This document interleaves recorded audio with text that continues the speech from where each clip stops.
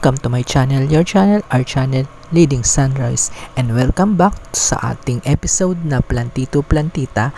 Kung mapapansin nyo, ito yung ating cut sa ating beetroot na ginawang juice before sa ating mga vlog. At ngayon nga ay itatanim na natin siya. Tatry nating tumubo at magkaroon ulit tayo ng isa pang beetroot.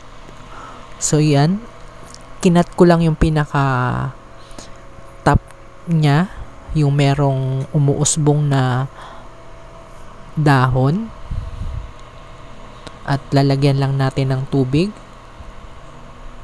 So second days na niya ito at gumanda naman yung kanyang tubo ng dahon. Wag lang babasain yung pinaka gitna ng dahon or pinaka crown para hindi siya malanta. So, ito yung naman yung isang ginawa ko rin. Titingnan din natin kung tutubo din itong onion. So, ayan, nilagay ko lang siya sa isang maliit na transparent para makita ko kung nabubuhay ba siya. So, it's third day na niya.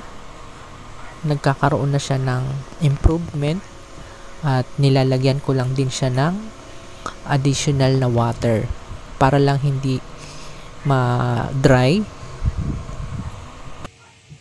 May improvement naman siya at gustong gusto niya yung ating pinaglalagayin sa kanya. Hindi ko siya pinapaarawan.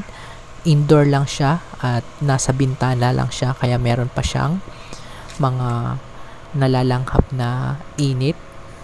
So it's fourth day na niya ngayon. So nagkakaroon na siya ng additional na leaves at sana nga ay magtuloy-tuloy na yung kanyang pagdami ng leaves at paglaki ng leaves na rin.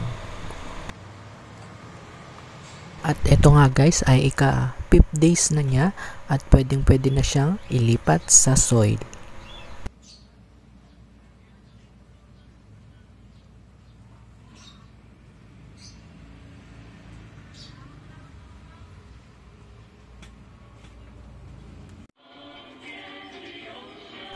So ayun nga guys at umabot pa siya na ika 6 days dahil naghahanap pa tayo ng paglalagyan niya at syempre naka-ready na yung ating soil pero yung ating paglalagyan yung pinakapaso natin ay wala pa akong nakikitang magpipit sa kanya kaya mahahanap muna tayo at dito lang muna siya sa ating transparent na cup habang naghahanap pa lang tayo ng paso na paglalagyan niya. So maglalagay lang muna tayo ng water para hindi siya ma-dry. At napapansin mo naman kapag nagda-dry na siya dahil wala ng water. At ayun nga meron na siyang additional na leaves para siyang talbos. Ayan nasa gitna. Super ganda niya at colorful na rin yung mga stem nila at sana nga ay magtuloy-tuloy na yung kanilang pagdami ng mga leaves. At naging busy rin tayo kaya hindi tayo nakapagtanim agad. Pero ngayon, itatanim na natin siya. Finally, nakuha na natin yung pinaka paso na paglalagyan natin at nakaready na rin yung ating soil. So, ililipat na natin siya ngayon sa paso. So, ito yung ating pasong gagamitin. Meron na rin siyang butas at hindi pa rin natin siya dadamihan ng tubig dahil baka malusaw yung kanyang crown. Ito nga pala guys yung ating gagamiting soil. Nabili ko lang ito sa mga nagga-garden dahil meron nating itong kasamang nutritional or fertilizer. So ilalagyan lang natin ang ating paso ng ating soil, hindi natin pupunuin para makahinga yung ating bagong halaman.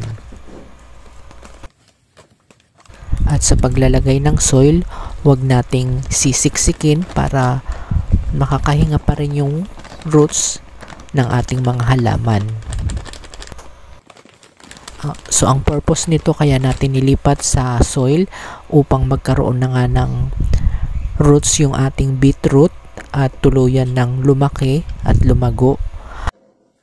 That time ay pwede na nating ilipat uli sa mas malaking paso dahil magkakaroon na siya ng bunga or ang tinatawag nating roots. So hindi lang ako sure guys kung lumaki na ito ay magkakaroon din ng flower. Dahil nga ito ay root crop posible ring meron siyang flower or wala.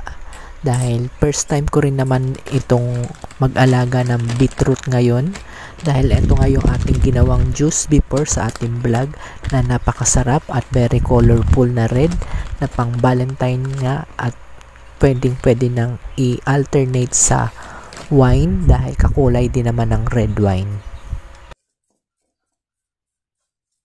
So ayusin lang natin yung soil para hindi nagkakalat dito sa ating paso.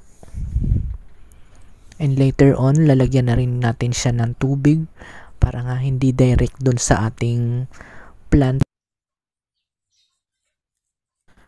At lagyan na rin natin ng space sa gitna para paglalagyan ng ating plants. Hindi natin masyadong ilulubog para maka hinga pa yung ating plants. Bawal siyang ilubog sa lupa dahil matatabunan yung kanyang crown at kapag natabunan yung kanyang crown, malalanta siya. So, ganun ang kanyang complicated na sitwasyon. So, ayan, iniingatan ko na huwag ma lagyan ng soil yung pinakagitna. So ilulubog lang natin ng konti pero kita pa rin yung kanyang crown. At wag na nating lagyan ng lupa doon sa gitna dito na lang natin ipatag sa mga gilid-gilid dahil dyan natin ipapadaan yung tubig. So kung makikita nyo malaki na yung ating beetroot, marami na siyang leaves na kulay green. At yan ay pwede rin kainin bukod dun sa mismong root. At pwede rin niyang gawing salad or ating ginagawang juice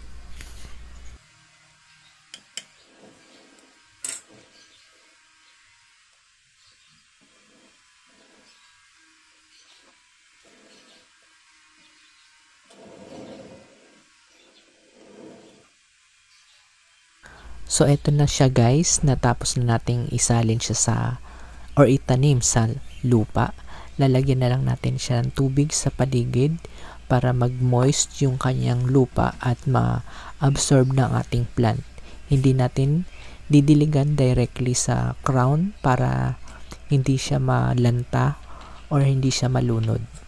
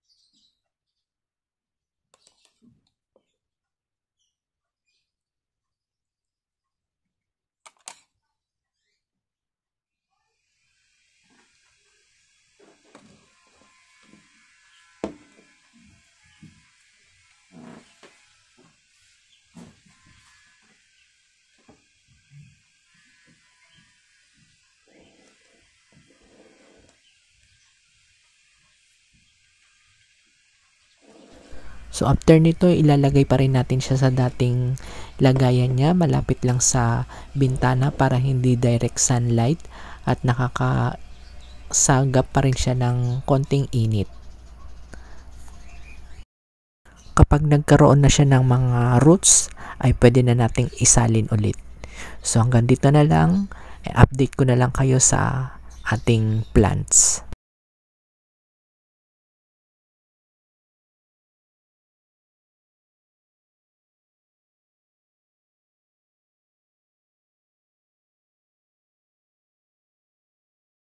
Please like, share, and subscribe to our channel and click the notification bell para updated kayo sa ating mga videos.